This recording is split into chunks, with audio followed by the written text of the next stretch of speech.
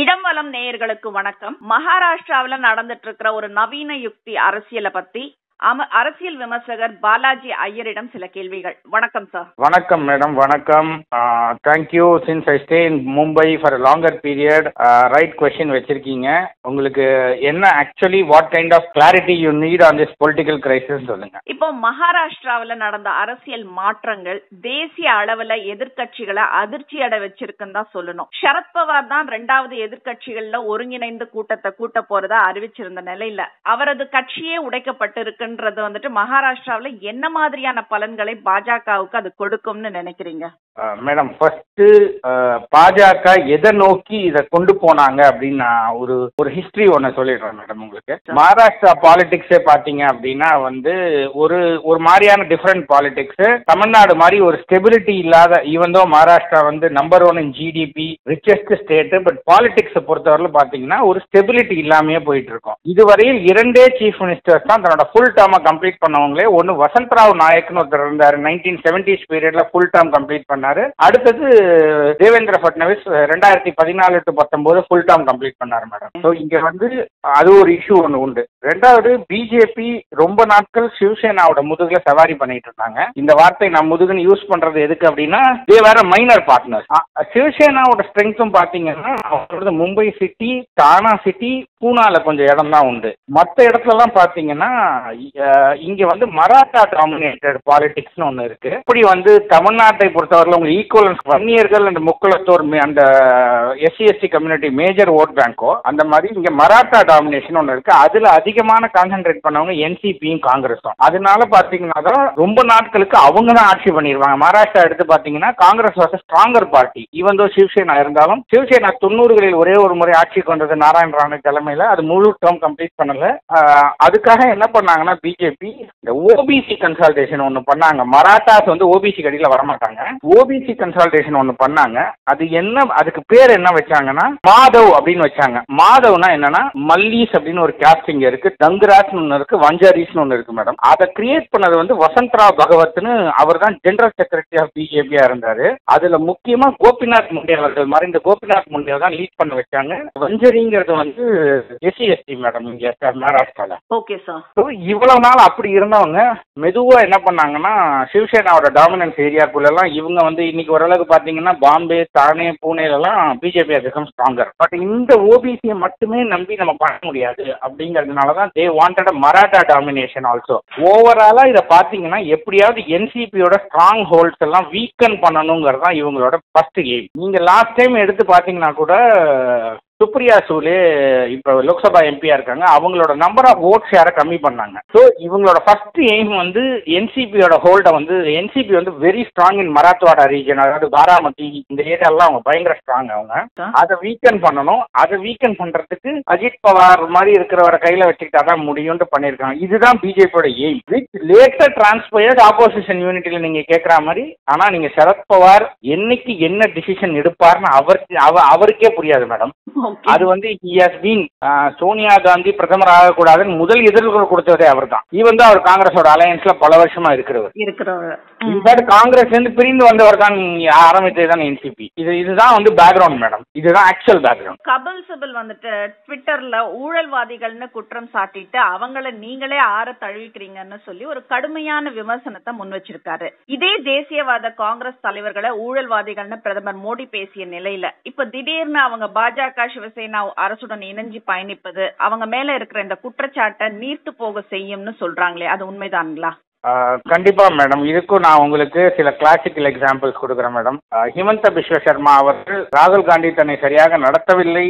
அவர் நான் போயிருந்த போது ஒரு தன்னுடைய செல்ல பிராணிக்கு நான் பிஸ்கெட் கொடுத்தாரு. நான் சரியா பார்க்கலன்னா வெளில வந்தாரு. அதே ஹிமந்த பிஸ்வ சர்மா பிஜேபி வந்தப்புறம் தான் நார்த் ஈஸ்டே இன்னைக்கு பிஜேபி கையில வந்திருக்கு. ஃபினான்ஸ் மினிஸ்டரா இருந்தார் ஃபர்ஸ்ட் டேர்ம்ல செகண்ட் டேர்ம் அவர் சீஃப் மினிஸ்டர் ஆக்கலன்னா ஹோல்டே கம்மி போயிடும். இதே ஹிமந்த பிஸ்வ சர்மா மேல் ஊழல் குற்றச்சாட்டுகளை சொன்னதுதான் பாஜக. சுவேந்து அதிகாரி மேல் சொன்னார்கள். முகுல் ராய் மேல் சொன்னார்கள் நாராயண் ராணே இப்போ இங்கே யார் சீஃப் மினிஸ்டர் இருந்தாங்களோ இருந்தாரோ நைன்டிஸில் மகாராஷ்டிரால அவர் மேலேயும் சொன்னாங்க. இன்னைக்கு அவர் சென்ட்ரல் மினிஸ்டர் எஸ் நீங்க கண்டிப்பாக இந்த விஷயத்துல கபில் சிபல் சொல்வது இன்ஃபேக்ட் ஒரு ரொம்ப காமிக்கலா எல்லாரும் பேசுறாங்க வாஷிங் மிஷின் அப்படின்ட்டு. எனக்கு எனக்குமே இது வந்து திடீர் ஒரு செட் பேக்கா இருக்கு. ஏன்னா போன வாரம் கூட வந்து என்சிபியோட எழுபதாயிரம் கோடி ஸ்கேமை பத்தி போபால்ல பேசுறாரு பிரதமர். அதுக்கப்புறம் பாத்தீங்க அப்படின்னா வந்து கோஆபரேட்டிவ் சொசைட்டிக்குள்ள அவ்வளவு திருடி இருக்காங்கன்னு பேசுறாரு.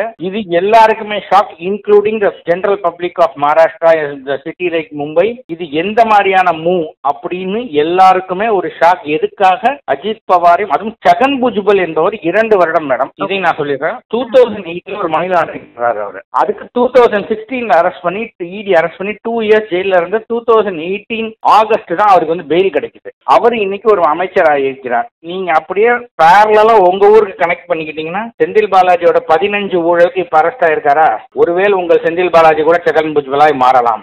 இது எல்லாருக்குமே செட் ஆகலாம். இது வந்து நோபடி எக்ஸ்பெக்டட் பெஸ்ட் ஃப்ரம் இதை கூகுளின்னு சொல்றதா யார்கர்னு சொல்றதா என்னன்னு புரியல. எதற்காக இந்த ஏற்பாடுன்னு எல்லாருக்கும் ஒரு ஒரு உண்மையான பாஜக தொண்டர்கள் கூட ஏன் அஜித் பவார் இந்த பக்கம்னு ஒரு கேள்வி இருக்கு மேடம் அதை எப்படி பிரதமர் கன்வின்ஸ் பண்ண போறாருன்னு தெரியல. இப்போ பொதுவாவே தேசிய அளவுல ஒரு பேச்சு இருக்கு. ஒரு எம்பி அல்லது எம்எல்ஏ மேல ஊழல் புகார். அப்படி இல்லைன்னா வந்துட்டு ஒரு சிபிஐ அல்லது அமலாக்கத்துறை விசாரணை நடந்தா உடனடியா அந்த நபர் போயிட்டு பாஜகவுல இணைஞ்சிடுறாங்க. அவங்க மீதான அந்த வழக்குகள் எல்லாம் வாபஸ் வாங்கப்படுது. அப்படி இல்லைன்னா வழக்குகள் கிடப்பில போடப்படுத்தப்படுது. இது வந்துட்டு ரெண்டாயிரத்தி இருபத்தி நாலு தேர்தல்ல பாஜகவுக்கு ஒரு பின்னடைவை ஏற்படுத்தாதா? ஃபர்ஸ்ட் பாட்டுக்கு நான் ஆன்சர் பண்றேன் மேடம் உங்களுக்கு.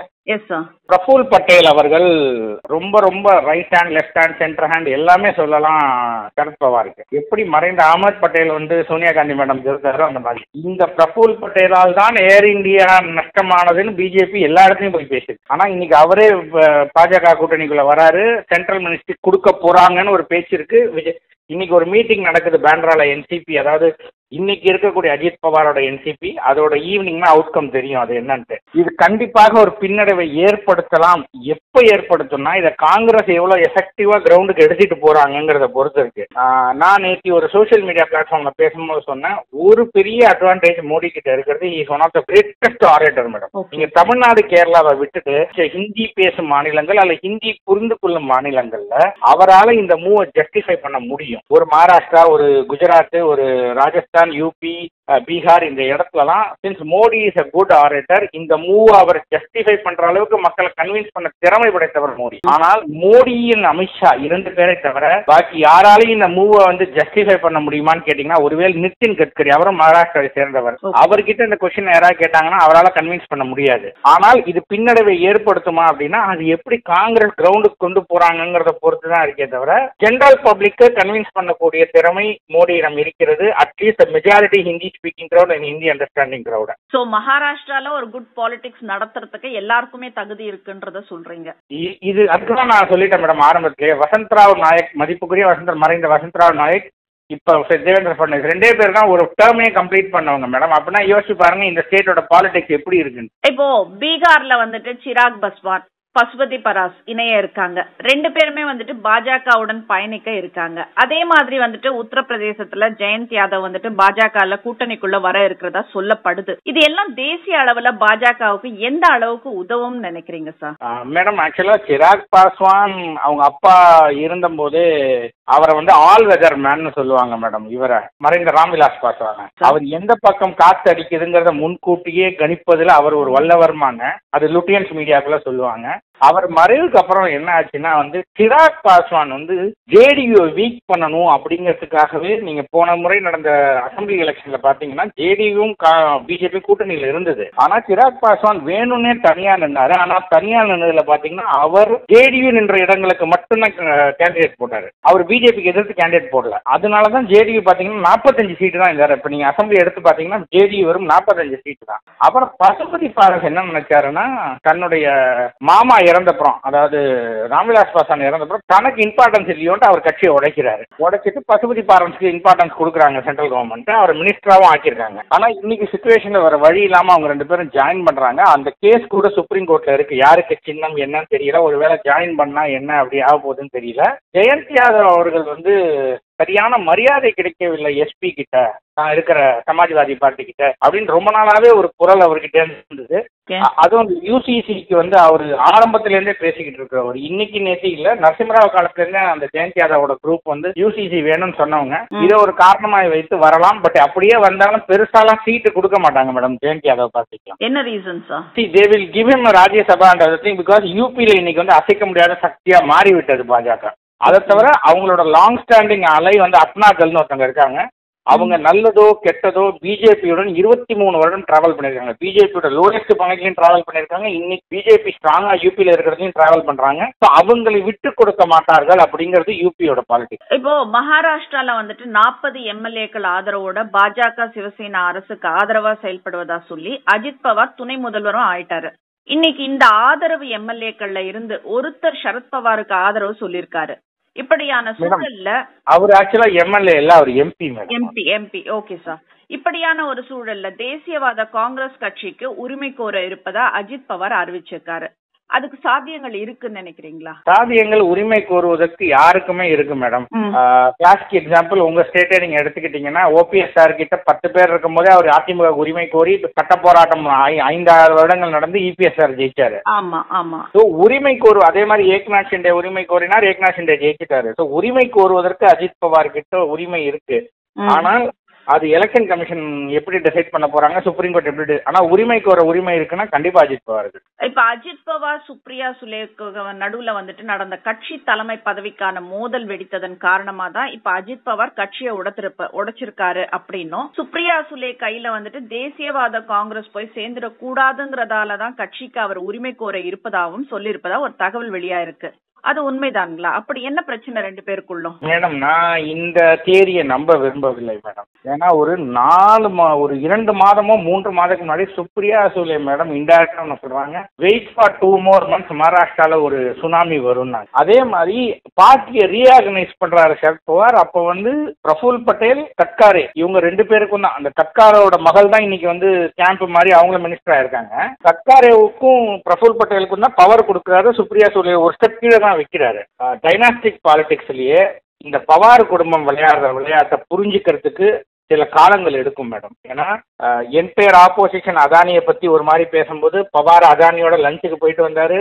அதானி இல்லாம இந்தியா இல்ல பிசினஸ் மேன் வேணும்னாரு. அதே மாதிரி மோடி அவர்கள் என்னுடைய பொலிட்டிக்கல் குரு சரத் பவார் தான் எப்போதும் பேசுவாரு. ஸோ இந்த கண்டிப்பா இந்த தியரியை நான் நம்ப விரும்பவில்லை. சுப்ரியா சொல்லிய கையில் பார்ட்டி போய்விடும் என்பதால் Ajit in fact ஸ்டேட்டுக்குள்ள Ajit Pawar and Sharad Pawar strongest people உங்க ஊரோட அசைன் உங்க ஊருக்கே நான் கம்பேர் பண்றேன் மேடம் கனிமொழி மேடம் எப்படி மேல இருக்காங்களோ ஆனா அவங்களால தமிழ்நாட்டுக்குள்ள பெருசா மா ஜெனரல் இது மொபிலைஸ் பண்ண முடியாதோ அதே தான் சுப்ரியா சோலே மகாராஷ்டிராக்குள்ள வந்து விட்டால் அஜித் பவார் இல்லாமல் சுப்ரியா சோலே கூட்டம் கூட்ட முடியாது.